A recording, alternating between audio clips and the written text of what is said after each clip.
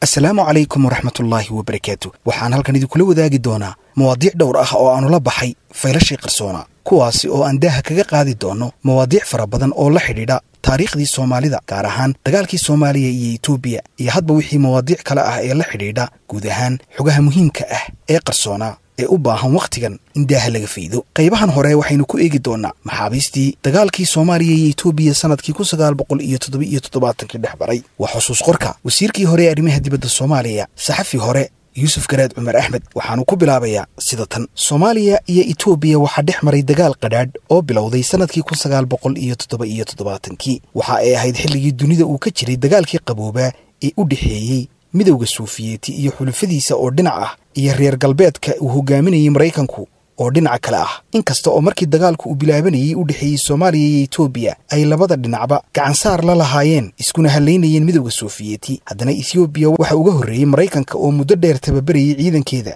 sidoo kalena hubaynayey isbeddelka dhacay etoobiya sannadkii kun sagaal boqol iyo afar iyo toddobaatankii ayaa soo afjaray arrintaasi oo etoobiya waxa ay ku biirtay xulafada midowda suufiyeeti dagaalkii kun sagaal boqol iyo toddoba iyo toddobaatankii oo ahaa mid aad u kulul waxaa soomaaliya ciidankeedu xoog ku galay dhulka soomaali galbeed ee ethoobiya iyo weliba deegaamo kale oo aan hadda ka tirsanayn gobolka. Ciidanka ethoobiya oo kaashanaya hub culus oo sofiyeetku ku soo daadgureeyey iyo ciidan xooggiisu ka yimid dalalka kuuba iyo yemanta koonfureed ayaa dhimay xawaaraha uu ku socday ciidanka soomaaliya. Ugu dambayn midowda suufiyeeti ayaa amar ku bixiyey ficil ahaanna xaqiijiyey oo dib ugu soo celiyey ciidanka soomaaliya soohdintooda sofiyeetku inkasta oo uu ciidankiisa keenay goobta dagaalka haddana isagu toos ulama dagaalamin ciidanka soomaaliya. Dagaalkaas waa lagu hoobtay labada dhinacba. Soomaaliya ciidankeedu wuxuu ku soo laabtay soohdinta u dhaxaysa soomaaliya iyo etoobiya sida ciwaanka taxanaha ka muuqata ujeeddada qormadaydu ma aha in aan kaga hadlo ayuu yidhi yuusuf garaad cumar axmed taariikhda dagaalkii kun sagaal boqol iyo toddobiyo toddobaatankii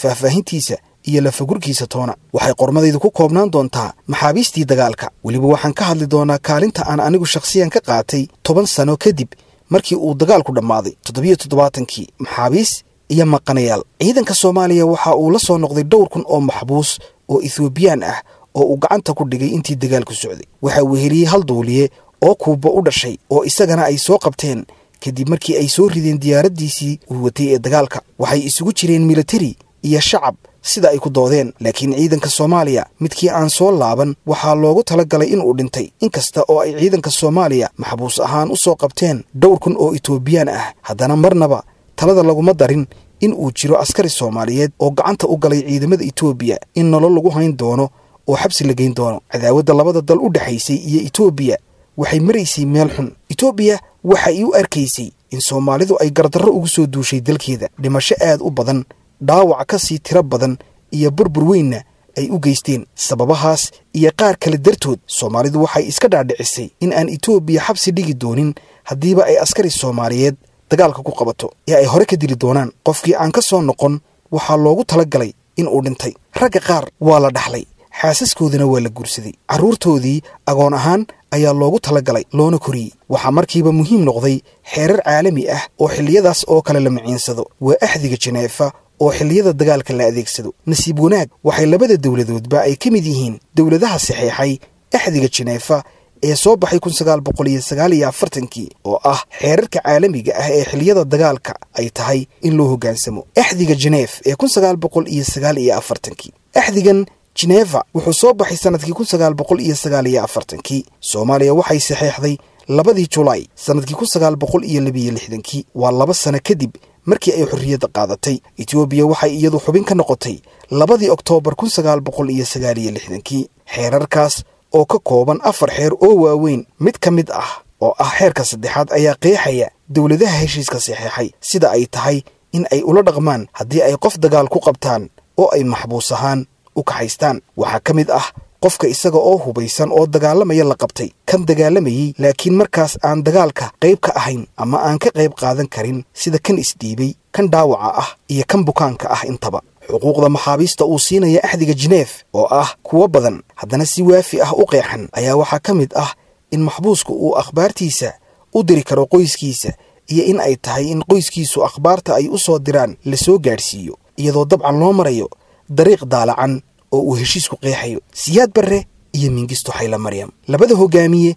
ee soomaaliya sarreeye gaas maxamed siyaad barre iyo ethoobiya gaashaanla dhexe mingisto xayla maryam oo ahaa niban ay iyaga taladu gacantooda ugu jirto waxay oggolaadeen in ay u hoggaansamaan heshiiska jeneefa ee dalalkoodu ay qaybta ka yihiin. Taas macnaheedu ma aha in dhammaantiis sida uu yahay loogu hoggaansamay oo aan innaba lagu xadgudbin. Guddida caalamiga ah ee laanqayrta cas oo magaciisa loo soo gaabiyo i c r c waa hay'ad ay hawsheeda ugu weyni tahay in ay dhowrto nolosha iyo sharafta dhibanayaasha dagaalka iyada oo u maraysa sharciyad caalami ah oo uu ka mid yahay axdiga jeneeva waxay bilowday inay diiwaangeliso maxaabiista labada dhinac ay kala hayaan. Waxaa kale oo ay maxbuus kasta ka soo qaaday waraaq uu u dirayo oo qoyskiisa ama ehelkiisa oo uu ku wargelinayo in uu nool yahay in uu xidhan yahay iyo caafimaadkiisaba. Soomaaliya waxay maxaabiista itoobiyaanka ah ku haysay xabsiyo ay ka mid yihiin xabsiga dhexe ee muqdisho xabsiga dhanaane iyo xabsiga laanta buuro.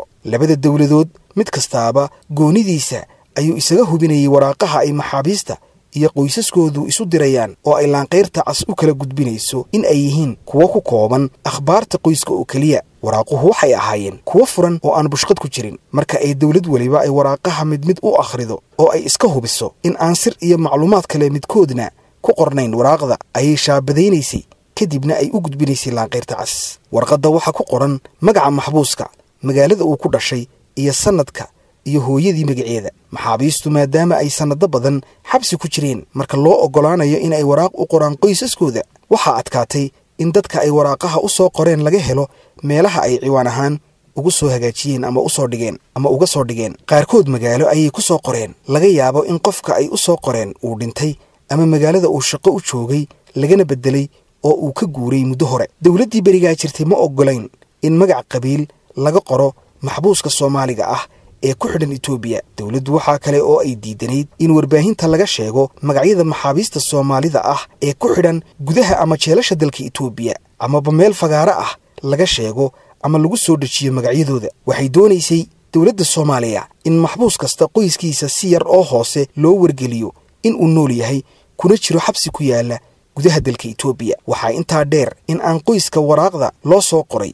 uu fahamkoodu yahay in wiilkoodii walaalkood ama aabbahood mid uu yahayba uu dhintay sannadkii kun sagaal boqol iyo toddobiyo toddobaatankii sidaas darteedna uma qabaan in uu nool yahay oo baadigoob kuma jiraanba maadaama ay qoysaskii soomaaliyeed ee ay askartu ka maqnaayeen u haysatay mar haddii etoobiyaanku ay qabteen in aanay nolol adduunyada guudkiisa ku joogin. Hawsha maxaabiista soomaalida ee ku xidhnaa etoobiya oo aan si toos ah uga qayb qaatay toban sano kadib qabashadoodii. Khibradda aan ka kasbaday ayuu yidhi yuusuf garaad cumar axmed oo ay ka mid ahayd wixii hay'adaha amnigana dhex maray. Waxa aan kala kulmay qoysaska maxaabiista ee aan warka farxadda leh u geeyey dareenkoodii sida uu noqday iyo ugu dambayn mar kasta oo aan soo xusuusto howlgalkaas samafal ee sharafta lahaa sida uu dareenkaygu noqdo. Waxaan insha allah kugula wadaagi doonaa qormooyin aan baadhitaan ku soo bandhigi doono mustaqbalka dhow haddii alla idmo. Saaxiibayaal qaybtan koowaad ee ku saabsanaa maxaabiistii dagaalkii